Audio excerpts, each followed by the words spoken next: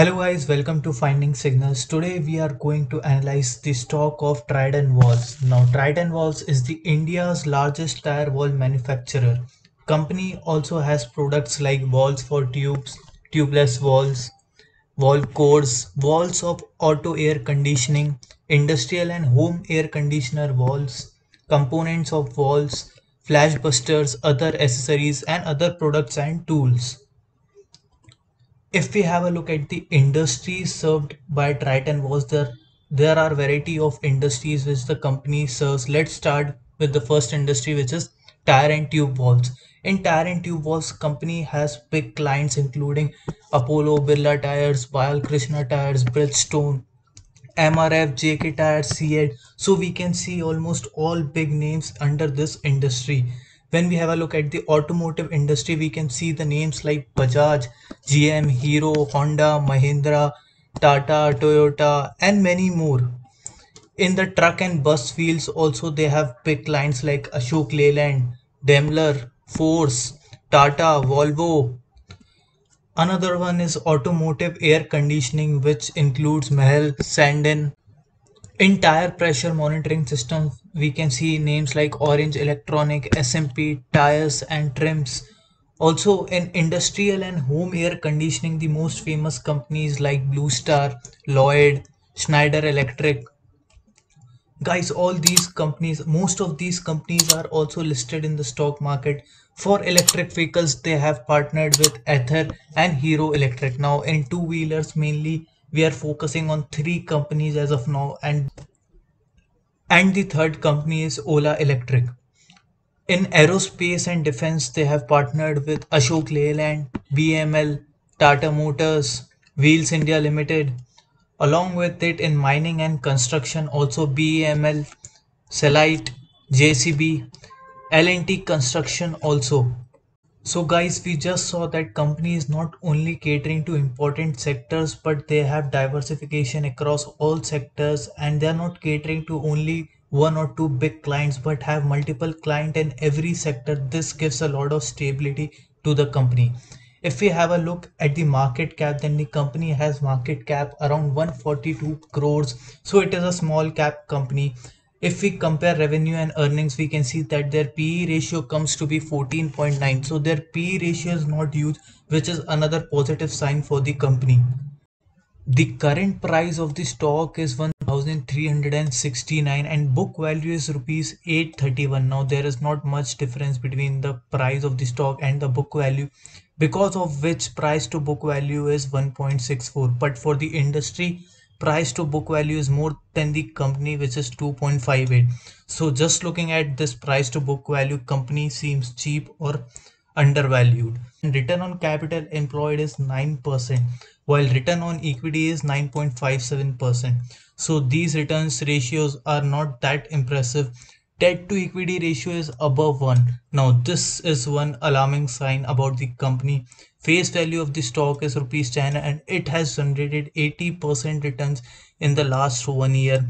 Also dividend yield is good. It is around 1.46 percentage. The pe ratio of the stock is less than the industry. For industry we can see that it is around 22 but for this company it is just 14 so here also company seems undervalued Having a look at some more important details about Triton Valves, then they are the major original equipment supplier to both tire and automobile industries. So it is clear fact that the company is majorly dependent upon the automotive industry.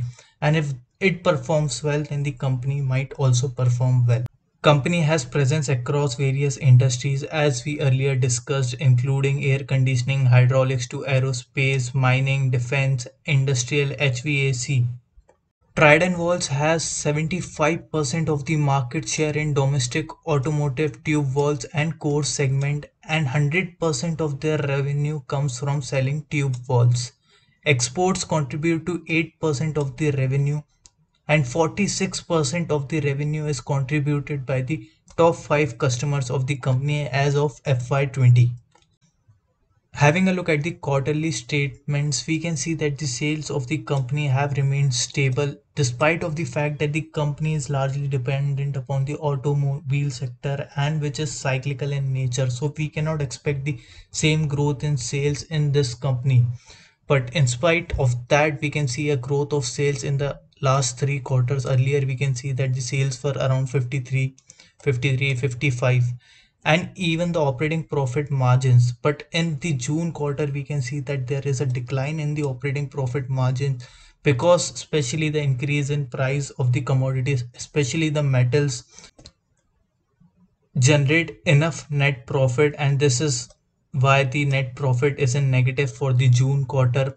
But in future we might expect a positive net profit from this company as the commodity prices get stable and due to this reason also EPS of the share is negative in June quarter but before that we can see that company performed well in previous quarters in June 2020 also EPS was in negative and both times these two quarters were affected by the lockdown impact because of which earnings were affected.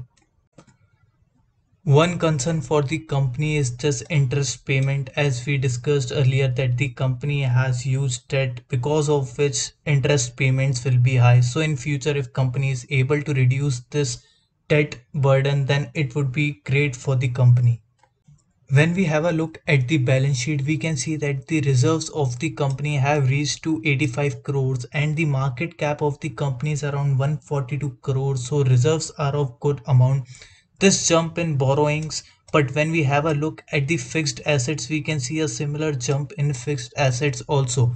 So this is positive for the company that the borrowings are used for gathering assets which would be very beneficial in the long term. Even the investments have grown in March 2021. Having a look at the shareholding pattern, we can see that promoters holding was around 50% in 2018, but in June it has increased to 52%. So this means that promoters have a lot of trust over the company. Another positive point about the company, while domestic institutions have reduced their shareholding, it was around 1.79%, but now they have nil holding. Public's holding is around 47.60. So public has huge holding in this company having a look at the past earnings growth then guys we can see that both these percentages are in red which are negative. For industry it is minus minus 7 percent. For company it is around minus minus 6 percent. It is because in the last few years automobile cycle was on a slowdown because of which net income for the company as well as the industry is in negative. They were not able to grow their net income. But if we have a look at the last one year we can see that the company has been able to grow its net income by 452 percentage and they have completely outperformed the industry. Industry grew by 137 percentage. If we have a look at the financial position of the company we can see that assets are more than the liabilities in the short term though there is not much difference. But the important point is that in the long term assets are far more than all the liabilities of the company combined which is again a positive sign for the company. If we have a look at the debt to equity portion we can see that the current debt to equity ratio is around 114 percentage where this blue portion is the equity part and this red portion is the debt part. While this green line is the cash available with the company we can see that the debt is more than the equity because of which debt to equity ratio is more than 100%. Earlier this red line was below this blue line which meant that the debt to equity ratio was less than 100% and in future if company pays back some of its debt then again this red line might go downwards and blue line might come above it. So guys, this is the chart of Triton Valves on a one day time frame. Now we can see that this chart has two gap ups. The stock gave two gap ups and because of which stock came back to cover these gaps. We can see in the august month stock covered this gap and now it has covered this gap also in the recent time. So this gap can act as a huge support for the stock which is the level of 1200 and currently stock is below its 50 days moving average. So i think if someone wants to make a fresh entry in this stock then this level of 1200 could be a good level to enter in this stock on the upper side, stock may face resistance from the level of 1400. We can see that in the past, stock has faced resistance from this level. So if someone thinks that 1200 would be a very low level to enter in this stock, then they can think of entering in this stock once it crosses this 1400 level with a good well volume. And if it crosses with a good volume, then we might see a good upward rally in this stock.